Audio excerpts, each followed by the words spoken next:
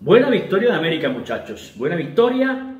Balance positivo para Juan Carlos Osorio. Su equipo marcó seis goles, recibió dos. De hecho, ha anunciado que quiere un equipo ofensivo y lo ha demostrado. Ah, que tiene cosas por mejorar en el comportamiento defensivo.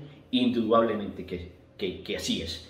Pero hablamos de una buena victoria de la mano de Gustavo Torres, tan criticado. Y fíjate, arrancó marcando dos goles hoy con América de Cali. Y un partido genial de Reiner Quiñones, que seguramente recibirá su placa como figura de partido, y marcó un gol genial de Reiner Quiñones. Hablamos a nombre de OneFootball, la aplicación número uno para futboleros, para aquellos que aman del fútbol, descarga la aplicación OneFootball. Ahí está, con un diseño espectacular. A nombre de Cementos San Marcos, la cementera favorita del Petiso Arango. A nombre de Temporales Especializados S.A., que te perfila tu lugar de trabajo, tu lugar de camino. Y a nombre, por supuesto, de un viaje que tengo próximo. Me voy para la costa y me voy con GSA Airlines, la aerolínea caleña que une Pacífico con el Caribe. Mi próximo destino, Cartagena de India. Lo haré con GSA Airlines. GSA llegó para conectar el Pacífico colombiano, para conectarlo con el Caribe, con toda Colombia, con la Alianza y con el mundo. Cinco frecuencias semanales directas con Barranquilla y Cartagena, tres con San Andrés, dos con Bucaramanga y Cúcuta y muy pronto con Santa Marta. No somos un low cost en servicio, pero sí en nuestras tarifas. GSA Airlines, conectando el Pacífico colombiano. Somos la cementera de la región. Somos San Marcos y construir el mañana es nuestra naturaleza. Temporales Especializados SA. Con más de 20 años en el mercado, nuestros procesos apoyan los servicios a las empresas usuarias. Carrera 66A número 10221 Barrio El Limonar. www.temporales.com.co. Bueno, hoy el equipo me gustó. A todos les sorprendió la ausencia de Marlon Torres. ¿Qué por qué Torres? ¿Qué por qué sí? ¿Qué por qué no? Eh, ya saben, rotación, rotación. No se les extrañe, no tiene por qué llamar la atención. Va a ser constante en la era Juan Carlos Osorio, la famosa rotación. Después a mí me gustó el equipo que montó, ofensivamente, con Gustavo Torres en punta, con Adrián Ramos, con Deiner Quiñones y con Lucumí. Y América, la verdad, ha hecho un buen partido en la primera parte. Un equipo que tuvo a Novoa en el pórtico, también rotación. Novoa respondió cuando lo exigieron. Qué bueno, porque los dos arqueros mantienen el nivel.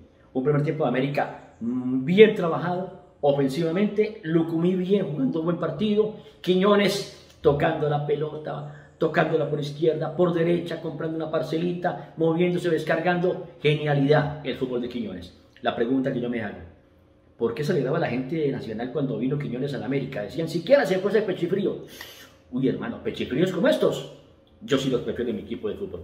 Bien por Quiñones. América alcanza para rápidamente irse en ventaja en su partido, en una bonita acción por derecha, iniciada por Lucumí, Quiñones, centro y Torres de cabecita, saquen el primero. El segundo parecido, parecido también, saque de Novoa, cierra, entrega a Lucumí, por izquierda Lucumí sirve a Ramos, Ramos deja pasar y aparece de atrás, bien ubicado Torres. Virtud de Torres es esa, sentido de la ubicación para aparecer en posición de gol. Y tuvo el tercero, en la segunda parte, en los segundos 45 minutos. Lo pudo liquidar, se lo atajó el arquero del equipo de Águila. América tuvo para inclusive definir el partido, para marcar el tercero, el cuarto. No los marcó. Y lo que sí recibió el gol fue el gol de descuento en una acción de ángulo por izquierda, una imprecisión de Sierra que pierde la pelota en salida, deja a América mal parado, porque la verdad América tuvo problemas en comportamiento en marca. Y Angulo descortó. Y cuando parecía ya había hecho variantes el técnico de América, Juan Carlos. Cuando el partido estaba por ser el profe, movió el equipo. El profe dijo seguramente, bueno, entonces liquidó, está liquidado. Haremos cambio, metemos a los Joao, metemos a los Barreiro, y estaba también metía batalla, y el equipo se le cayó. Perdió peso, perdió, no metió miedo adelante, se vino ese ángulo más libre que nunca. Buen jugador ángulo lateral izquierdo del equipo de Águilas, y estuvo cerca de empatar. Pero apareció el genio y figura de América de Cali, Deiner Quiñones se inventó una jugada él solito para acabar el partido. Les dijo al jugador de Rionero, no más, no más señores. Una gambeta, dos gambetas, tres gambetas, baile para izquierda, baile para derecha y luego el remate, señores. Qué de padre, señor mío, qué gol, qué genialidad se marcó Quiñones. La metió a la cruceta, donde solo llegan los carpinteros a trabajar las obras de arte. Y esa fue una obra de arte de Quiñones. Acabó el partido y hasta allí fue Río Negro. Conclusiones. América de mitad de campo hacia arriba es un equipo muy rico y peligroso ofensivamente. Pero defensivamente sí tiene cosas para revisar y reparar. Y hay que repararlas pronto. Otro detalle. La última vez que vi un jugador disfrutar tanto, sonreír, fue a Duván Vergara. Después lo perdió. No volvió a ser el mismo jugador de siempre.